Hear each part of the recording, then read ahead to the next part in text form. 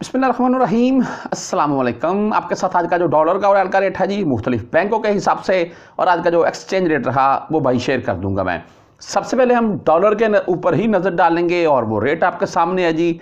कल के नस्बत डॉलर आज मज़ीद सस्ता हुआ, यानी कि कल कल का रेट था दो सौ चौरासी रुपये बारह पैसे, और आज का रेट है दो सौ तिरासी रुपये सतासी पैसे। तकरीबन पच्चीस पैसे भाई आज डॉलर सस्ता हुआ है। कल की नस्बत। और अगर हम रियल रेट की बात करें तो पहले आपको मैं ओपन मार्केट का बाई रेट दिखाऊँगा, और वो आपके सामने है जी, पचहत्तर रुपये सैंतीस पैसे, पचहत्तर रुपये सैंतीस पैसे, इसमें आज बारह पैसे का इजाफा हुआ है। कल पचहत्तर रुपये पच्चीस पैसे था, और आज इसमें बारह पैसे का इजाफा हुआ है। ये रियाल का रेट है, और अगर आप रियाल बाई करना चाहते हैं तो भाई छिहत्तर रुपये तेरह पैसे में मिल रहा है। एंड दरहम की बात करें तो छिहत्तर रुपये नाइन्टी सेवन। यानी कि सत्तर रुपये बोल रहे हैं आप। सत्तर रुपये भाई, इस वक्त दरहम का रेट है ओपन मार्केट पाकिस्तान की बात कर रहा हूँ मैं।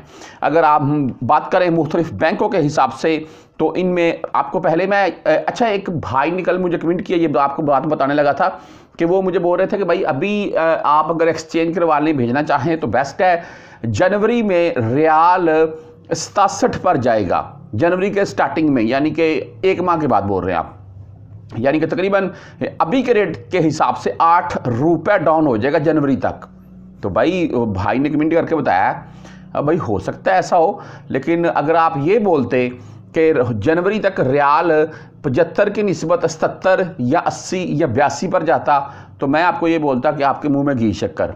क्यों? देखें, हम प्रदेश में लोग जो हैं, यहाँ कमाते हैं, भेजते हैं, प्रदेश से भेजते हैं तो रेट अप हो तो खुशी महसूस होती है।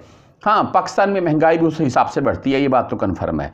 बहरहाल जी रेट के मतलब अगर बात कर लें तो आपको मैं आज का एक्सचेंज रेट पहले जो है जी, वो बता दूँ।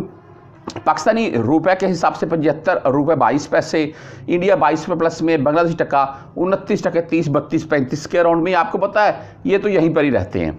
तो बहरहाल, अगर मुख्तलिफ़ बैंकों के हिसाब से बात करें तो इनमें वेस्टर्न यूनियन की अगर बात करें तो भाई वेस्टर्न यूनियन आज का रेट पचहत्तर रुपये चौदह पैसे दे रहे हैं। दस, सत्रह और तेईस रियल फ़ीस के साथ। अगर मनीग्राम की बात करें भाई तो मनीग्राम का आज का रेट पचहत्तर रुपये दो पैसे, दस, सत्रह और तेईस रियल फ़ीस के साथ। अगर टेली मनी यानी कि ए एन बी बैंक से आप सेंड करना चाह रहे हैं तो भाई इनका आज का रेट है पचहत्तर रुपये दस पैसे, दस, सत्रह और तेईस रियल फ़ीस होती है जी इनकी भी। तहवील राज़ी राज़ी बैंक की बात करें, जो कि फ़ीस नहीं ले रहे हैं, अगर चार सौ रियाल प्लस में आप भेज रहे हैं तो इनका आज का रेट है पचहत्तर रुपये सात पैसे दस, सत्रह और तेईस सेल्फीज के साथ। अगर हम बात कर लें जी एस टी सी पे की तो इनका आज का रेट है पचहत्तर रुपये बारह पैसे। दस, सत्रह और तेईस रेल फ़ीस होती है जी इनकी भी। अगर फौरी बैंक बैंक जजीरा की हम बात करें तो भाई इनका आज का रेट है पचहत्तर रुपये चौदह पैसे। दस, सत्रह और तेईस रियल फ़ीस के साथ। अगर आप इंजाज बैंक से भेजना चाह रहे हैं तो पूरा पचहत्तर रुपये रेट इस वक्त इंजाज बैंक दे रहा है भाई। और दस, सत्रह एंड तेईस रियल फ़ीस होती है इनकी भी। और अगर बात करें हम क्विक पे की तो क्विक पे का भाई आज का रेट है पचहत्तर रुपये नौ पैसे, दस, सत्रह और तेईस रियल फ़ीस के साथ।